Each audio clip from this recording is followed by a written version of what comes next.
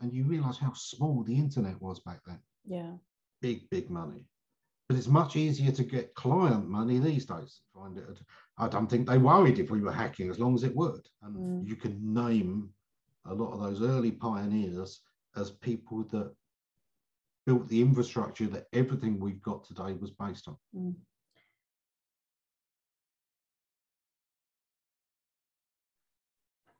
Today I'm talking to Ammon Johns. Ammon has been in the industry since the very early days, and over the last 25 years, he's been incredibly generous with his time, contributing to forums and social media, and also mentoring a great deal many people to get started in the industry. I hope you enjoy this incredibly interesting conversation with a lot of insights into the early days of SEO. So, Ammon, welcome. Hello. And I'm going to jump straight in. And the first question I'm going to ask you is to get kicked off is I'd really be great if you could give me a, um, sort of a timeline from when you started in the industry. In the early years, there was no industry. Uh, SEO not only didn't have a name and a label, but we didn't have a cohesive uh, sense of doing the same thing. There were a lot of people who were driving traffic to websites in various ways. And quite a lot of those included using the web directories and search engines.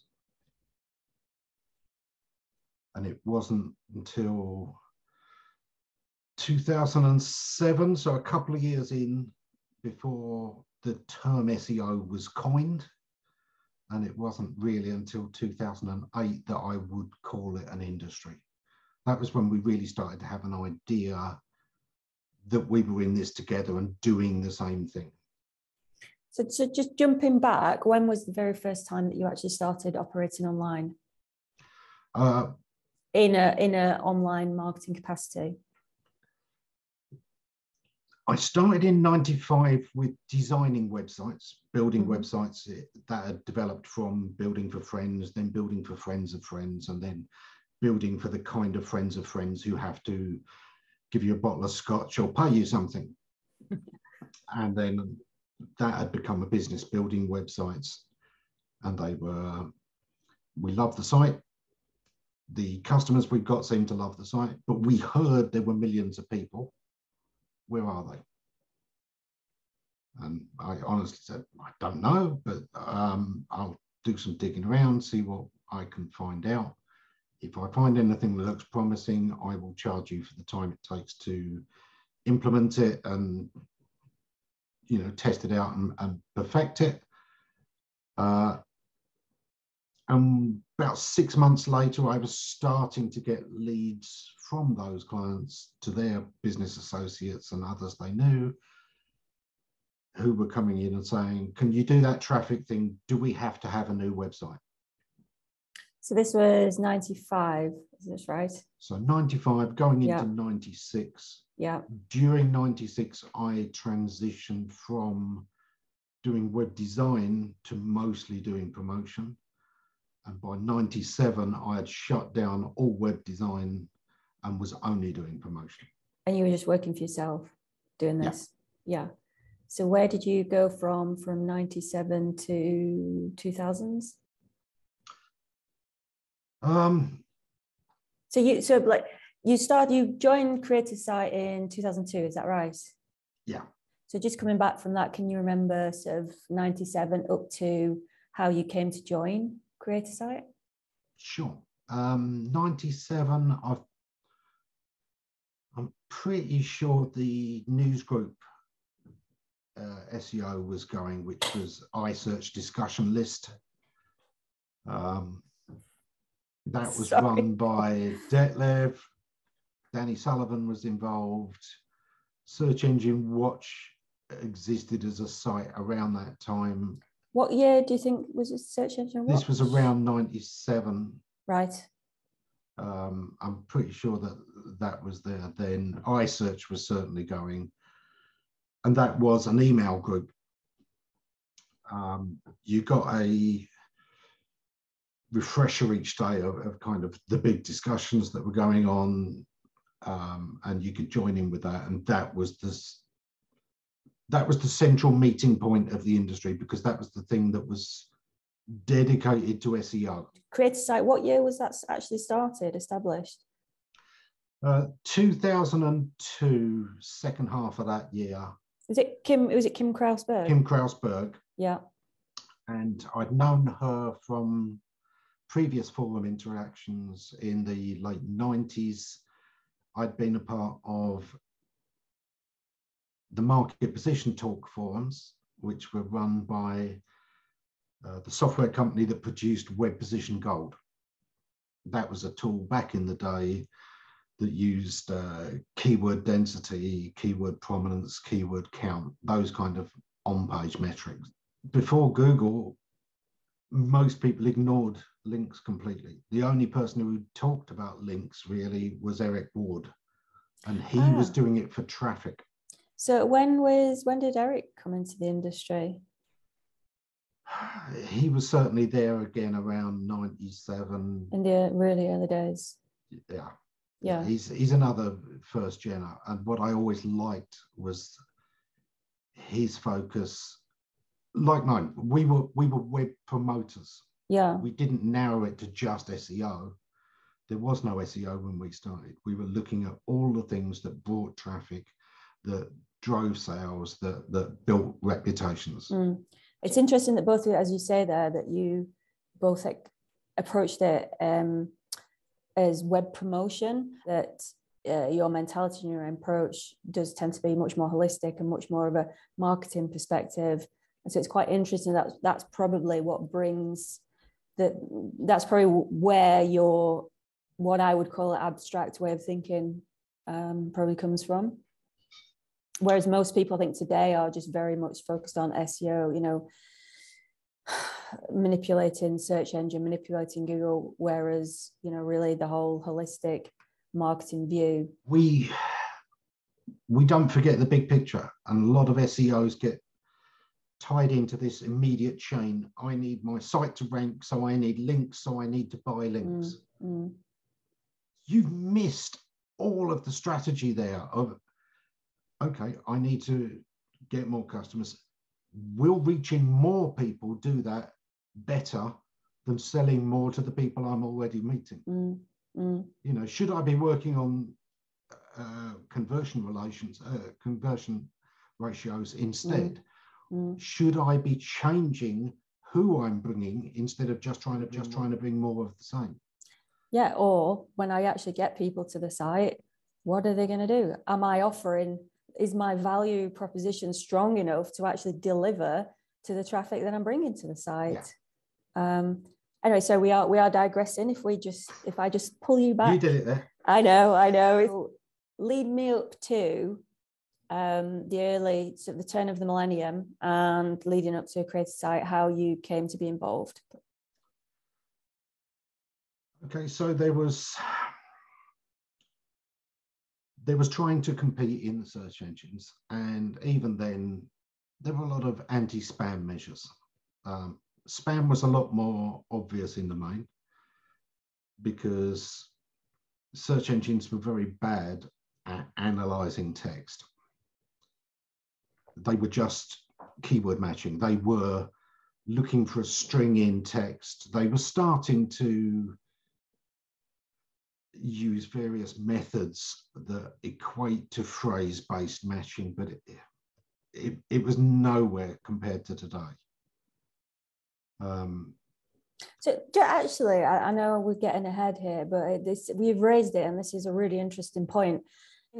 Search engines were quite immature as to what they are now, right? They were quite simple. It was just a case of a phrase. It wasn't even query. It was just word matching, right?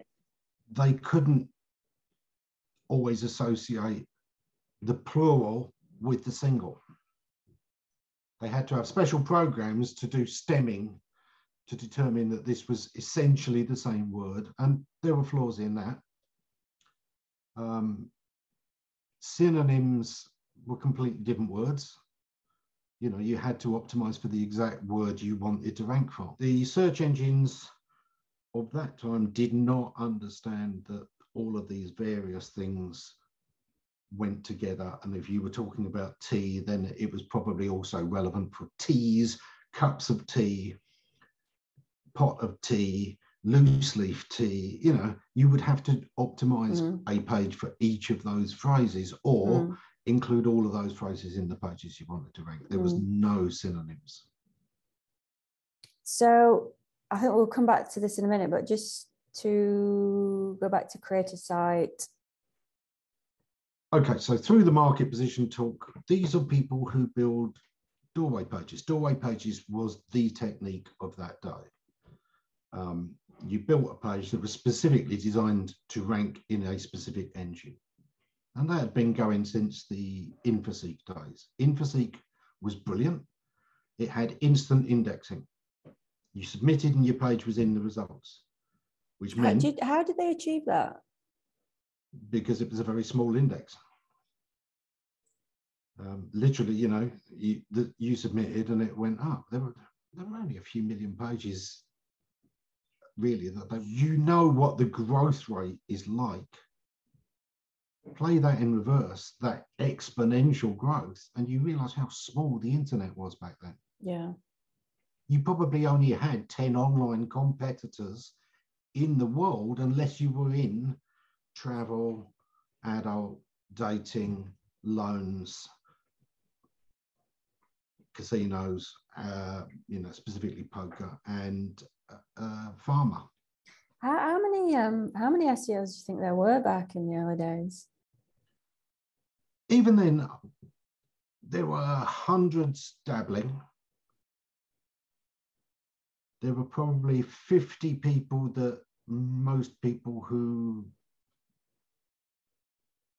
looked for tips, looked for share, uh, shares, looked for articles, knew. You know, there, mm-hmm. were, there were 50 authors. Mm. Um, so uh, a few hundred, but you you can't really say how many were in the trenches and keeping their heads down. So, who were they? some of the first names that you? Because you mentioned Eric. Did you were you in contact with Eric in the early days? We knew of each other. We hadn't I think we traded a few comments here and there, but you know, we hadn't phoned up and chatted or, or you know, talked to each other on instant messengers that didn't exist. One of my sorry, just jump in with a, a random little story, but my favorite link that I ever built was actually on the homepage of Eric Ward's nice. website. Eric gave me a link from his homepage. And I think that's one of my uh, favorite link scores that I ever achieved sorry anyway to digress no but, um, um, honestly that's one of the best ways to value links you know when we'll talk about metrics probably later but when you're looking at link metrics the ultimate metric that i tell everyone to use is is this a link you would ring your mum up and go mum i got a link from you can't tell your mum and explain why this is valuable it probably isn't mm, yeah um, so apart from Eric's name, so who else in those early days? Who was the first other SEO that you met? Um, Danny and Detlev through the iSearch list, mm-hmm. along with um, Adam Audette, um, John Audette, uh, Christine Churchill. Who else was around? Uh, pretty much all of the early pioneers. We we talked to a little bit earlier, and I know you'll be you'll be talking to some of these people, but mm-hmm. yeah, there, there were only there were only 50 people really talking about this stuff. So you were you knew the names. But where was the main point of contact that you would? The iSearch discussion list in the really, really early days. Yeah, so then the forums right. started up, but the forums were usually started by a software manufacturer or by someone who was selling something. It, it was a mm. support community for mm. something rather yeah. than, you know, SEO for yeah. SEO. So a lot of people uh, in and around the industry, you'd meet them in various forums. The biggest one around that time was um, high traffic forum, might have been Jim Wald. Certainly, SEF was the big one, search engine forums. That was the first dedicated SEO forum. What year do you think that was? 97, 98. Okay. Um, certainly 99, it was the biggie, biggie. Um, and that's where I met people like Mike Mackin, Darren Babin. Um, maybe that's where I first encountered Extreme PFR, who then went on to work for Google years later. Um, so you, there were a lot of people you bumped into or rubbed, or rubbed shoulders with. Um, how long were you with Cre8asite for? Two years? Five. Oh, you were as, as an admin. Yeah. Right. Okay. And what people? Who did you meet? Uh, is it Bill Slawski? Was he was one of the other admins? Kim was the. So she was active, but I mean, what I meant is, was she actually active on it? Yes. And her focus, of course, was mostly usability. She'd done SEO. Yeah. But her passion was UX. Yeah. So we always took a more holistic view of a website than just ranking. It needed to perform for users. It needed to be giving a good experience. It needed to perform business wise or achieve the objective that you'd created the website for. Mm-hmm.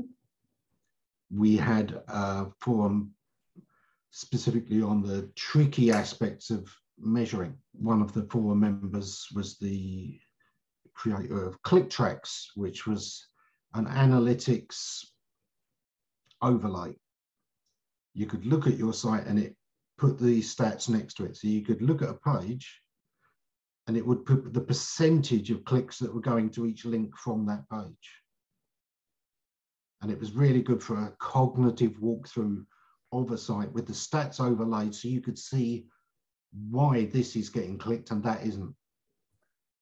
That's really interesting. I'm actually thinking, when did um, when did Google Analytics start?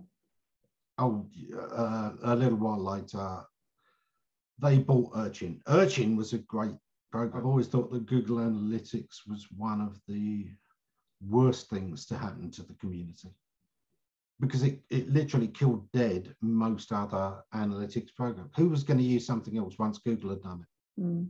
Mm. A friend of mine, Michael Martinez, um, he's been saying there's been a, a poll on Twitter should Google create an SEO glossary? if Google dictate the terms of what is and isn't SEO and how it's defined, it will rule out anything they don't want. You won't even have the language to discuss the stuff they don't want. That's, that's really interesting, actually, because uh, I know in the early days, obviously SEOs came first, then Google was established. Google was actually talking to the SEOs to get them on board. And then after that, Google then flipped the switch and started dictating. Whereas in the beginning, actually, the SEOs were the ones that had the authority over Google. So, what year did what what year, year was it that Google was introduced? Well, they first opened up in '98. 98, they didn't right. attain dominance. They didn't become the dominant engine until late 2001. Okay. It took them a few years to, to catch up because Google were doing no advertising. They had no marketing yeah. budget. So before Yahoo were on TV, Microsoft were on TV, Jeeves was advertising on TV. Yeah, yeah. Even Lycos with this little black Labrador. Not original. I mean, they were the. Who were the original ones? Archie. Right. Uh, and I mean, that really was basic. Okay. Then you had things like Northern Light, Web Wombat, I think Search BC was around that time as well. Search BC gave us a meta tag that lurked around for years, which was the revisit after meta tag. And for years, SEOs were putting this nonsense tag in their page that no other search engine had ever used, and Search BC had abandoned the year after they introduced it. A classic case of people copying for the sake of copying yes. without. Also, the problem with correlation studies because if you looked at what pages were ranking, 90% of them had this tag. Thing is, the pages that are ranking are most likely the ones that are being done by people who are either SEOs or with an interest in SEO, which means they are the ones most likely to be using this tag. It's coincidence, not really correlation. So Google, when Google first came in, do you remember what what was it that mm, kind of drew you into starting using Google? We started seeing this little robot in our logs backrub. Mm-hmm. Because uh, Googlebot was originally backrub. Yeah. And a few of us who paid attention to robots, mostly because either we knew of hacking or we knew of cloaking and we kept an eye on, on IPs and robots that were about. Mm-hmm. Um, so the people who were interested in that started noticing this spider, looked up what it was, found out it was an interesting project, uh, and were some of the first to test Google. As I say, Google had no marketing budget. It grew by word of mouth. Mm. And most of that word of mouth came from those early SEOs and webmasters looking to see what this bot was on their site. Mm. Uh, their tie into Yahoo, of course, got them a huge amount of uh, exposure. They were the search provider, the organic search provider on yahoo.com. Right. And they weren't the first to, to do that. They Yahoo had used other people before. Uh, if I remember rightly, the very first contract to provide that, Yahoo got a 10% share of Google. And when it was extended, they got another 10% share of Google. And pretty much the only thing that's kept Yahoo going all these years is the fact that they own 20% of Google. So, uh, do you uh, do you actually remember back to the early days of when Google used to invite SEOs to their headquarters and started to kind of establish a relationship with SEOs? Yeah, they were doing that mid noughties. Um, okay. And the, the, I mean, the, the classic first one of those we remember, they did the Google dance and they had some, you know, little social meets. And they'd been doing the meet the crawler sessions at search engine strategies and you know, mixing with the, the attendance uh, uh, conferences. But the one that really stood out was when they brought people back to their HQ for the Google Dance, and Dave Naylor was introduced to one of the Google founders, got to spend some time in alone uh, uh, in a room alone with him with a keyboard. And David had shared a few things that were broken about Google over the years. And they, they found him interesting. He, of course, found them interesting, and, and that was the, the basis of it. Honestly, SEOs were the first to appreciate what Google was doing. I think SEO has probably helped to inform Sergey and Larry quite a lot of how to develop and evolve Google. I mean, do you think that they could have even achieved the uptake because really, you know, it's a symbiotic relationship, isn't it? Google needs SEOs, SEOs need Google. No. Um, no? Oh. A lot of the explain. early hires at Google came from Alta Vista.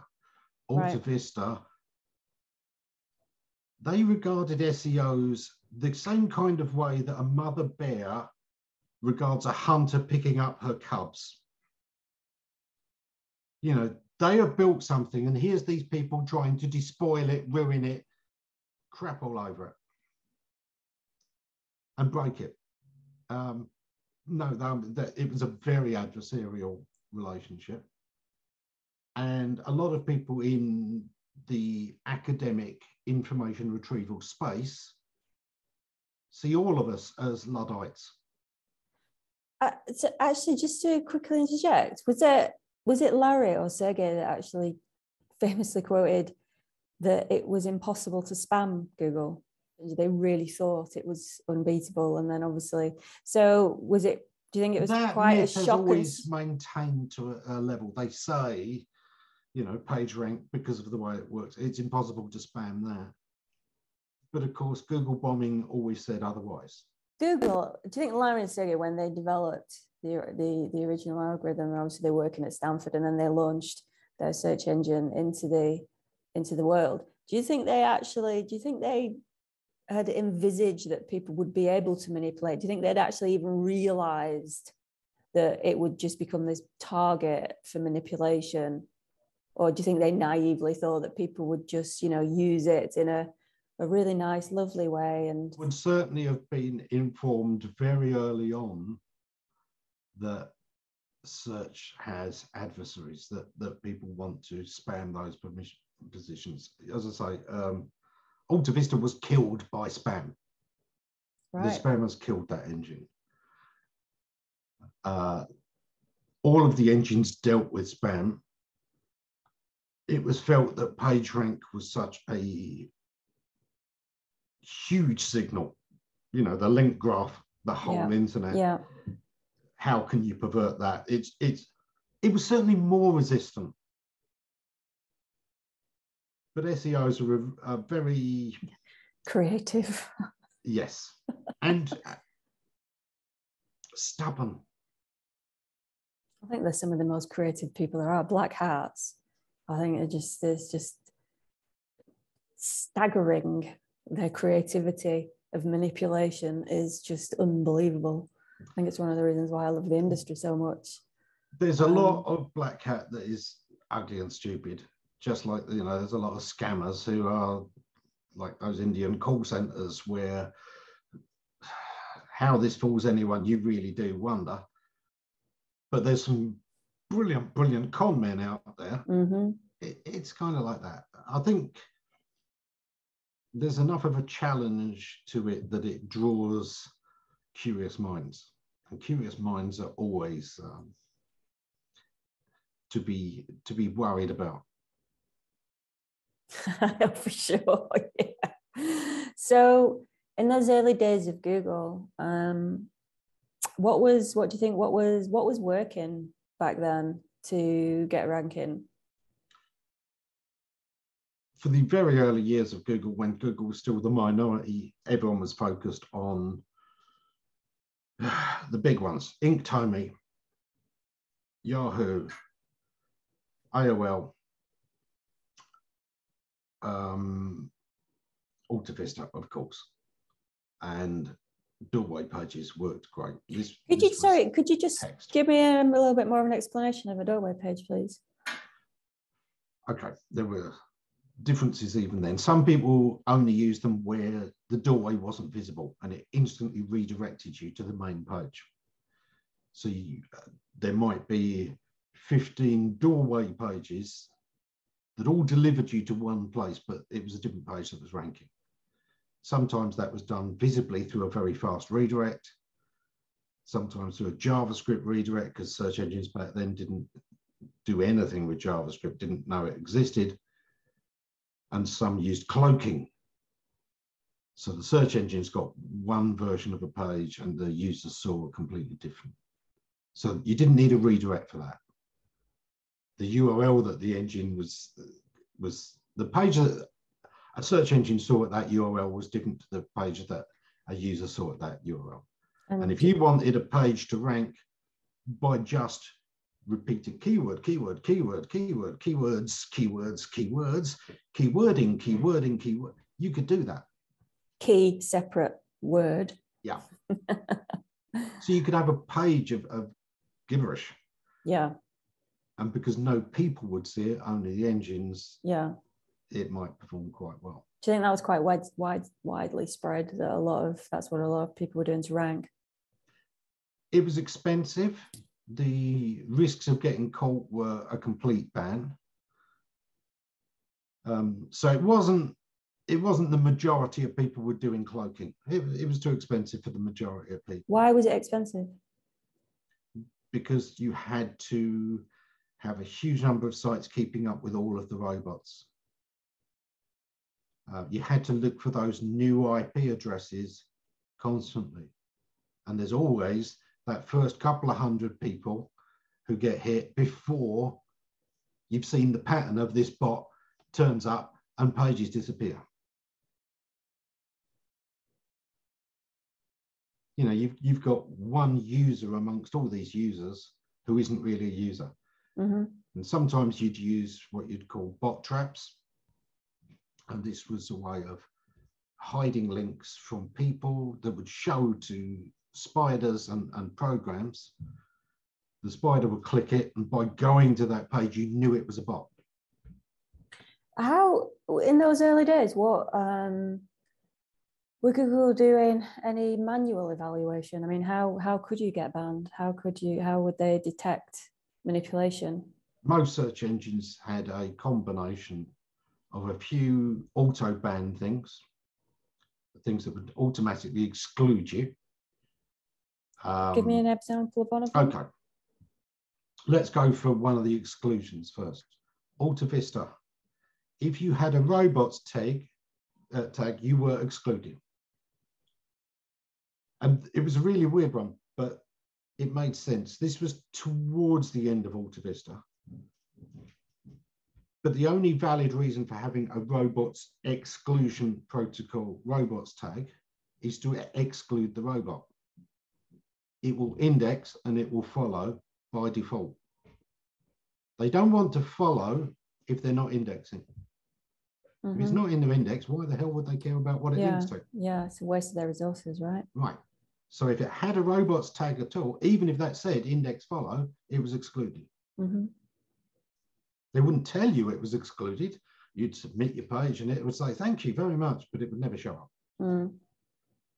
So were they doing any level of manual uh, review? Definitely. Um, that's trickier to specifically point out, but there, there were things where you knew it was happening. There were, there were times where you reported things yourself. Um, I worked in the dating arena, and that was super competitive. So many affiliates. So even though I was working for one of the, the bigger dating companies of that time and a competitor of Match, we weren't just competing with Match, we were competing with a thousand Match affiliates. Yeah. And that all meant that there was a huge amount of competition. It was the days where only what was on your page mattered. So if you got a, a good ranking page, somebody would literally copy and paste your page, swap your brand names for theirs, swap that final link that is a sign up to their sign up, mm. and, and submit that page. Snatch the from right under your nose. And often that would automatically grab the place under yours sometimes it would grab the place above, you know, because it was essentially the same kind of, of ranking signals that were coming from it because it was the same page. When there was only on page signals, yeah, you could just copy a page and you've got all of the signals.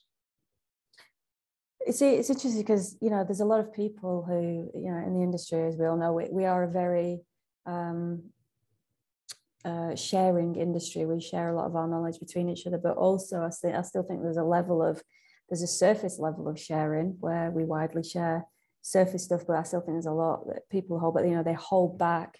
They're not really giving away the really good stuff, and also a lot of people there's you know online. Oh well, I can't tell you who it is, or I can't tell you you know what I'm doing. There's this. There is actually quite um, we appear on the outside to be very altruistic, but actually, with there's a that we are covering up a lot of secrecy.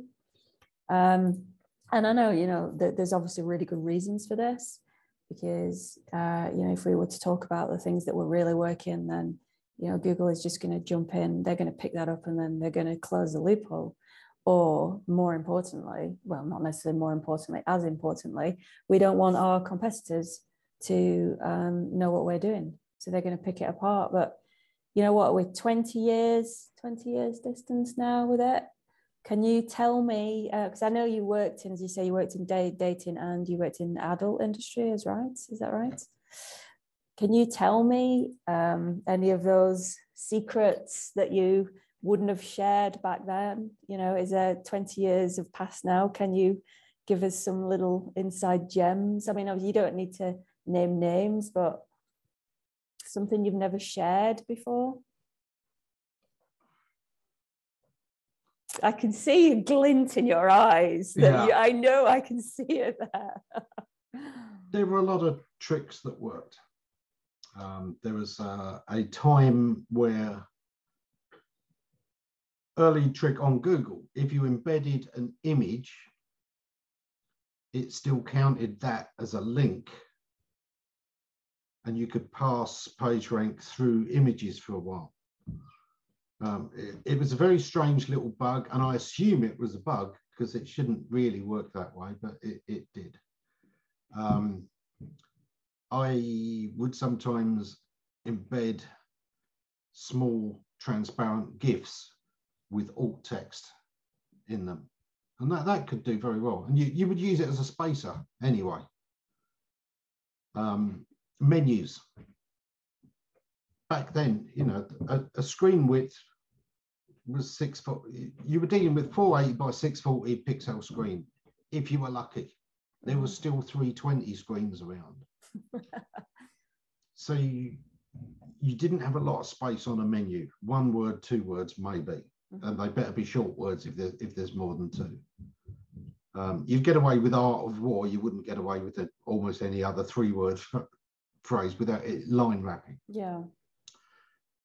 So what I would do is I'd often have one word that was kind of descriptive, but I would have a little icon GIF, you know, maybe it was a little arrow, maybe it was a dot, something to mark the list items. Yeah. And that would have alt text.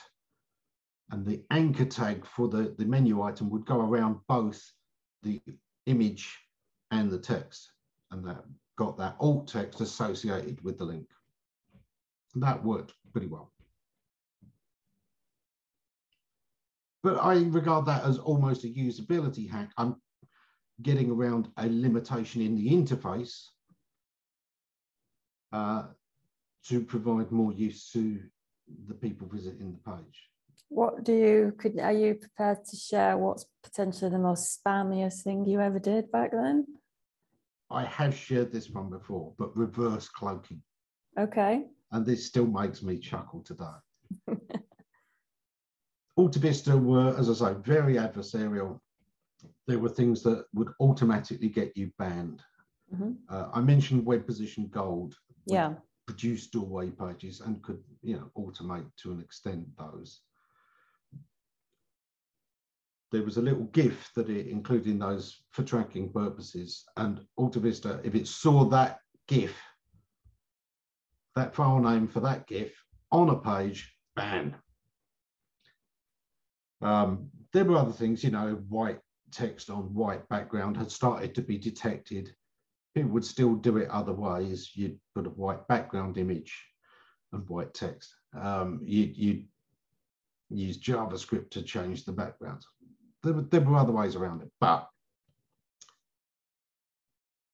we had a load of people, like I say, copying our page for mm -hmm. this top dating company I was working with, and it was becoming annoying. Every week I'm having to file spam requests and, and you know, copyright requests uh, for hundreds of these pages. So what I did was I started cloaking our site. But the engines got the clean version. It was the users who got the version with white on white text, the spammy images, everything I knew could be auto detected and banned went into the visible page served to users and never served to engines. And I even emailed AltaVista and told them what I'd done. They never replied, but I like to think that they chuckled as much as I did. And we had no more problems. We never saw another person copying our page because they automatically got themselves banned the second they did it. That's absolutely genius. So the, the like the clean, as you say, the clean experience, the good experience was that actually still ranking well then? Yeah. So that's quite interesting. Then. So does that lead you to believe that maybe some of the stuff when you were actually spamming, maybe you should have all just done really good, clean? I very rarely anyway. had to rely on spamming. However, some of it is in the way you implement it. You know, look at how many things that spammers do are based on good practices, just without the understanding of what makes them good and done to death. You know, using the words that the user uses is actually really good for conversions. Overusing the words that, that the people use isn't. It, it's a bad experience. It almost looks like you're patronizing people. Uh, it reads badly. That's spamming. If you're a good writer, you can still get all the usage of a word you want into a page and it will read naturally. Mm-hmm. If you're a bad writer, you can't. Mm-hmm. I always liked um, Barry Lloyd, make me top.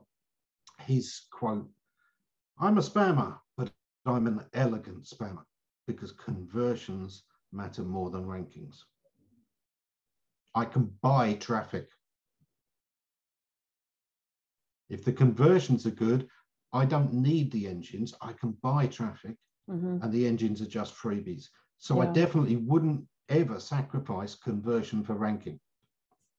So did you, I mean, did you used to see a lot of negative SEO back then? You know, people yes. attacking each other? Yes. Um, and various forms. I mean, the one nobody would call negative, but it happens all the time. Your biggest risk of getting caught as an SEO when you're using questionable tactics is your rivals. If they see it, they will report it. Um, if they're not smart on SEO, why the hell did you need tricks and, and that to beat them anyway? They're probably as smart as you. They will probably spot what you've done. If what you've done can be reported, expect it to get reported. You just gave them an easy win. So always make sure that it looks legit. What kind of negative SEO stuff did you used to see back then? Now, that's one of the reasons that we didn't share stuff. There were, and still are, things you can do that harm people. There are still things today that can be used to harm people that I will not share because they still work. And the less people who know about it, the less damage will be done. There are some who sometimes put these things out and say, well, that will force the search engines to fix it. Some of these things are very, very difficult to fix. There will be fallout. Either they won't fix it all and you know businesses will be hurt people will be put out of business people will go hungry or the search engines will be oversensitive sites will be shut down people will be hurt businesses will yeah it's it is it's it's it's a delicate balance and i think i think i think obviously I, even google they would be the first to say it's quite obvious that they are managing a real balance. They're not 100% honest themselves but i think a lot of that the basis for that is purely down to just trying to preserve the good of what google is more than you know just so that it won't be completely trashed by manipulation.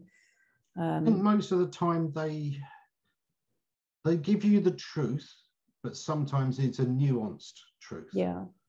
Uh, and sometimes that's simply because we have different definitions from for things than they do, mm. and we have different perspectives on things mm. that, that, they do. Um, let me just give a very very quick example of that. A lot of people think that a lot of things are ranking factors because they imagine that the SERP is the product. Mm. And it really isn't. What Google are making is the algorithm that will generate any SERP on demand. Mm. So the idea of um, click data being applied to a site for a specific search, that's useless. It doesn't scale. Google don't want that. What they want to do is change the algorithm that will then work across all searches now, today, tomorrow, next year, it's always about changing the algorithm. The algorithm is what they are optimizing, never the SERP. And a lot of people misunderstand that difference. Mm. They will not change the ranking of a site based on interaction. They will change the algorithm and what signals they're using in the first place, what signals make the best results across the board now and in future for this. What was the first conference that ever happened? Was it actually PubCon? No, Okay, Search so what was the... strategies was going before PubCon. Right, and it was that in America. PubCon was built on the success of uh, search engine strategies. Search engine strategies was already touring all over the world. Oh, okay. Who was uh, running that? It was run you know? by Dave by Danny Sullivan. Oh right. uh, and there were several core speakers who toured with it, plus local speakers, um, various sponsors, and, and people like that. So Mike Grehan was at pretty much all of them. Right. As a speaker. Um, yeah. Yeah. And he was a good one. He was one of the people I watched present early on to determine who I wanted to be as a speaker when it was it was my turn to present. Mm-hmm. I always say that you you get a lot out of your first three conferences from watching the presentations, looking at what works, what doesn't for you, what would fit your style and what wouldn't, and who you want to be when presenting. And that won't only help you if you ever want to present at a big event, but it will help your sales pitches too. Mm. Look at what was convincing and really got the, the complex information across quickly, and that's going to help you in every sales pitch. Yeah. Um, so yeah, Mike, um, Barry Lloyd, who I mentioned, mm-hmm. fantastic raconteur. He was another inspiration. So I, I watched those guys present. I went my own way, definitely. And I didn't like doing the presentations. So much of my work was under wraps at the time that I couldn't really talk about most of the projects I was working on. Always anywhere from 25% to 30 something percent of my clients are other SEOs or SEO agencies. You know, I provide advice, a second opinion, guidance. Um, I can't talk about what I'm doing for them. Yeah. Because obviously, you know, the clients go directly to them, and quite rightly so. I, I, yeah. I don't want to be stealing those clients. I don't want those those clients coming to me. I like the fact that the agency gets all the headaches, and I just get the really cool stuff to play with. um, so there was a lot of stuff I couldn't talk about. So I tended to go into the review sessions. Mm-hmm. So people would bring their sites and you would quickly do it and in real time show them some of the things that they were missing, some of the things that would work and give them some of the advice. So I, I was doing live consultation then. Of course, we all remember Ammonize. so the first PubCon. He was coming to London. Which so which one? Barry Lloyd? Mike Mike, no, Mike, Mike Mackin, yeah. A lot of us wanted to, to meet up, and a few people were, oh, I can't, it's a weekday. Boss will never let me off. And the guys at Webmaster World, being creative SEO type, said, pretend it's a conference. Call it PubCon.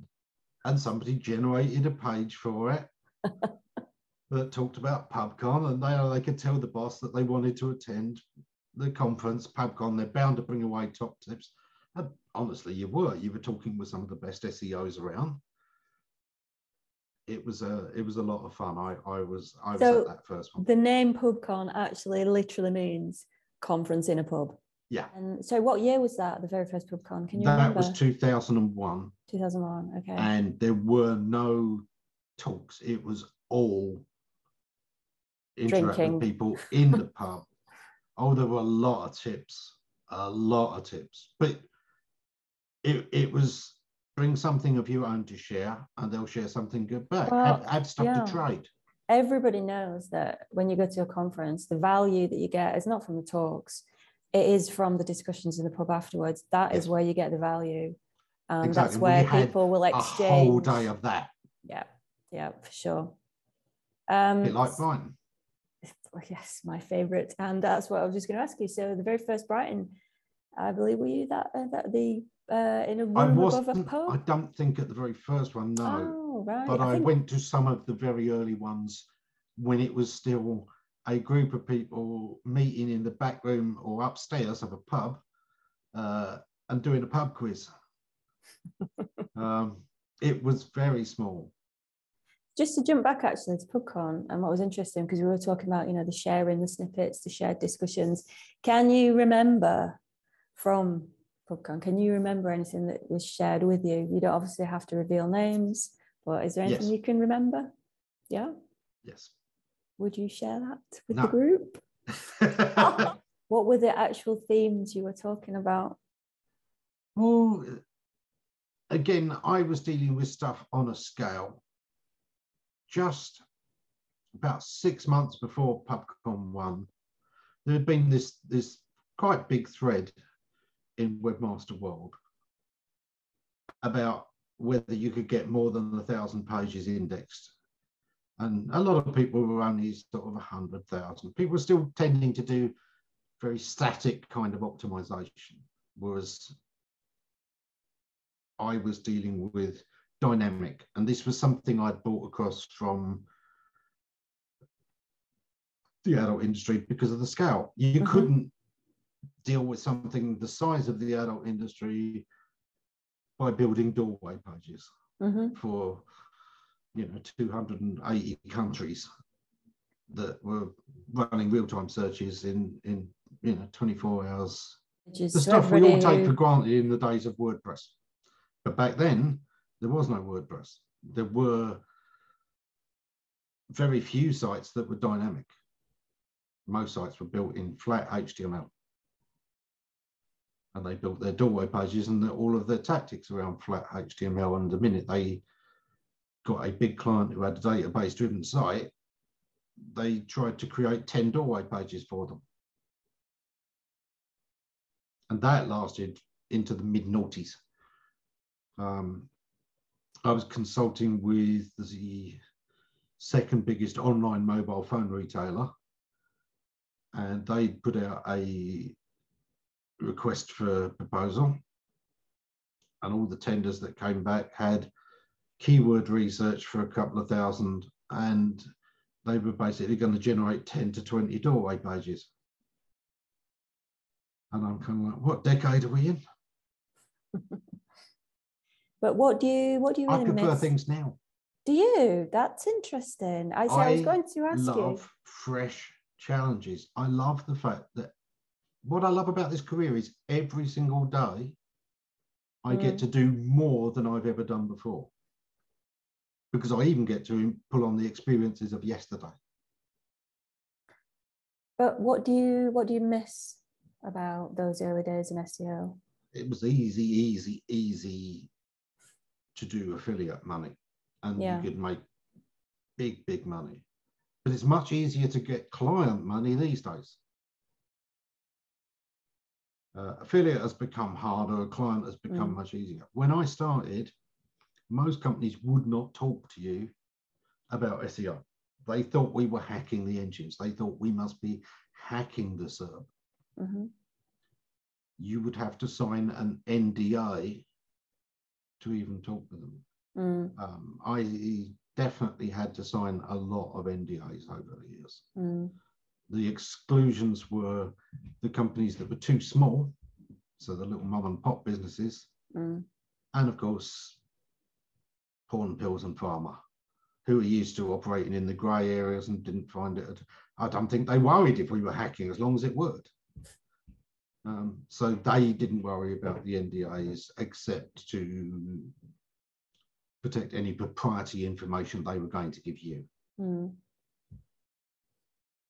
Would you? But Would you everyone else, you you signed an NDA. When I talked with CNN before taking them on, you know, there was a lot of, of gentle reassurance going on that you know there's there's going to be no no sharing of their secrets. would you go back to those days if you could, or do you prefer today? Well, I personally would because I was younger then, and I I could I could quite go for being thirty again. Onwards. I just meant on an SEO basis. Obviously, I think we're all up. Personally, I think we'd all like to uh, be 20 somethings again running around. I don't know. There's a lot of people who are 20 something now who may be watching this and you know they definitely don't even want to be five years younger. They're they're so relieved to be finally out of teenage. Don't you remember when we were there? Well, I've got to say, actually, I don't think the where, where I am now, which I'm 48, nearly 49, I think, um, I wouldn't trade the what I've learned and the wisdom and knowledge I have. I wouldn't trade that for anything. Do you miss that kind of feeling, that underground, almost feeling a bit renegade? Early days, you know, the forums and there's a little bit of that. I miss the forum days where it was much more community minded. There were there were lots of people who didn't take part in the forums and kept their heads down. You know, for every single person that would register a forum, there were 100 viewers. For every single person that commented, there were 100 who had registered. Uh, and those those really were the kind of percentages. So the, the number of people who were talking were a minority. Mm. And it gives you this sense of a smaller community than there really is. And there's a Mm. lot of people um, sitting in the shadows, siphoning up and, and using it without giving anything back. And that's always been there. You couldn't see them. Mm. I didn't like the drive towards blogs. And it's why you'll still find me helping out in groups more than blogging on my own stuff. It, it's a principle. And why do you not like blogs? I don't like walled gardens. If you're going to share, share. If you're insisting that you have to benefit from it, it has to be on your terms, on your territory, you're not sharing, you're manipulating. Now, there's nothing necessarily wrong with that, but it depends how it goes. And just for me personally, it was a principle. I share openly. But isn't I a share when you can see that the only thing I get out of it is the is the sense of me that people take away. But isn't a blog sharing? Compared to forums, no. no, it really isn't. If you, if you ask anyone who was around in the forum days how those discussions went, and yeah, sometimes they were heated, but the depth was in the discussion. Once it's on somebody's blog, you're far less likely to comment because if you disagree with them, they delete your comment. Actually, that's quite interesting because one thing I've noticed about you, Ammon, is you do contribute massively um, online, particularly in Facebook groups. And it's really interesting that you've said that. So now I can make that direct connection. And now that I can see that for you, using these Facebook groups is actually a way, it's almost like tapping back into those forums. And I can see that's how you're approaching it. And I've always wondered why you give so much time, so much value, and so much input into those comments in Facebook, which you know can just be deleted any minute. They can ju- it can just be gone. I was always wondered why, and now now I get that sense that I guess for you that you are actually tapping back in to it's I guess it is nostalgic. You're tapping Mm. back into that atmosphere of the forums. G Plus did exactly that. I had a, a huge amount of content on G Plus that that that went. It's gone Mhm. now. Some people say, "Well, that was a huge amount of valuable stuff, and you didn't, you know, salvage it and pull it out somewhere." No, I didn't. If you weren't following me at the time, you missed it. Mm, And if you held back because you thought, oh, I can catch this somewhere else later, you can't always. Um, the people that I interacted with on G Plus, there's so many of them that I'm still in contact with. mm, Um, Mark that's where I first met him. And he will tell you the value of some of the exchanges and discussions we had. Uh, Eric Enge, G Plus brought us more into each other's orbits and we collaborated on a few things and had a few discussions. Again, what we took away from that, the relationship and the community sense, is always still there mm. the connections you make are based on the moment and nothing deletes that So, as a final, just to wrap up, because I think we're going to end here. But if I was to ask you your one thing, so if you look back on those early days, what is your one favorite thing about it? Is it is it the forums? Your fondest the community the sharing community. because trust me this industry has come a huge huge way Mm, like i say there was no seo industry there was web promotion of various types and all the money back then was in advertising people wanted to Mhm. sell you ads mm, So we were the ones fighting against that, looking at other ways of making money that were Mm. more open and more inclusive and didn't create ad giants. We were always looking to support the underdogs and support each other. And it's the ones who were sharing their SEO secrets and their views and helping small businesses come up that formed the internet we all take for granted today. The internet that doesn't require you to pay ridiculous phone calls that, that we had in those early days. You know, Mm. the free internet is based on the fact that there's a lot of money in it Mm, and they would rather get you on there freely mm, um, than, than miss out on all that mm, phone driven business that the internet generates. The huge variety of projects and sites came because so many of us shared how to make little tiny seed projects grow, mhm, how to build communities online, how to make uh, a, a bootstrap operation successful. mhm, That was a gift, and Mm. you can name a lot of those, a lot of those early pioneers as people that built the infrastructure that everything we've got today was based on. mm. And you know what? I think that is actually the perfect point to end. Um, Ammon, it's been, for, as always, it's been fantastic to listen to your wisdom, knowledge, and experience. And thank you very much for your input and being our very first pioneer. You're very welcome. Um, really enjoyed it. It, it. It's nice to look back, but it's particularly nice to look back into how it got us to where we are Yeah. and where it can take us in future. Yeah. Okay, thank you very much, Ammon, and I shall say goodbye now.